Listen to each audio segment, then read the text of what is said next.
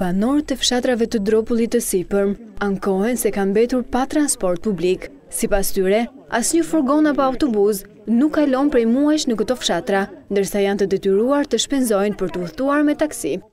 Kjo që po ndodh sot nuk ka ndodhur në asnjë sistem që unë kam jetuar në Shqipëri. Se jemi njerëz pensionista, jemi të sëmurë, duhet të Komunikojmë me qendrën, të vizitohemi, të marrim barna, të marrim diçka që kemi nevojë.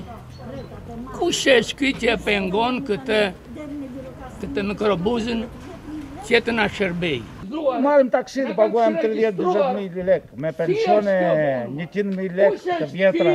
Nëse të vete te doktori, kam një plak në shpi, sëmurë, nuk kemi as doktor, as infermier, as ilaçe, as i as të... Neve pesë fshatrat e lart, ne e paguajmë atë, se s'kemi ne, Dropulli poshtëm ka autobusa plot, neve duam 50.000 që të shkojmë në Gjirokastër.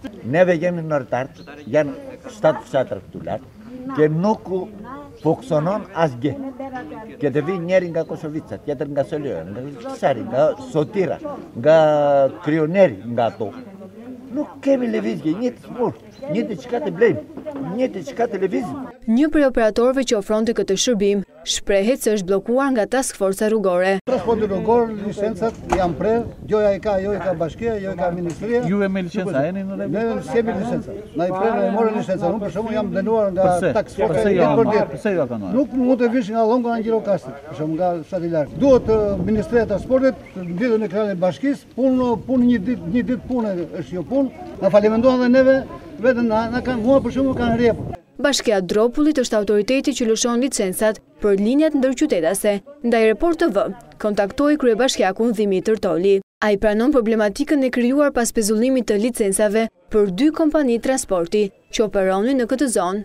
Ka nisur një hetim administrativ për licencat e lëshuara nga ish-drejtuesi i Bashkisë Dropull, dhe së shpejti do dalim me një vendim përfundimtar. Brenda një kohe sa më të shkurtër do fillojnë procedurat për përzgjedhjen nëpërmjet konkursit të hapur të subjektit që do licensohet në linjën e re të sapomiratuar nga Këshilli Bashkiak. Janë rreth katër mijë e pesëqind banorë të Dropullit të Sipërm, që aktualisht mund të lëvizin vetëm me linjën e autobusëve Tiranë-Kakavi, por që i lë ata në rrugën nacionale, ndërsa problem mbetet lëvizja brenda rrugëve të fshatit.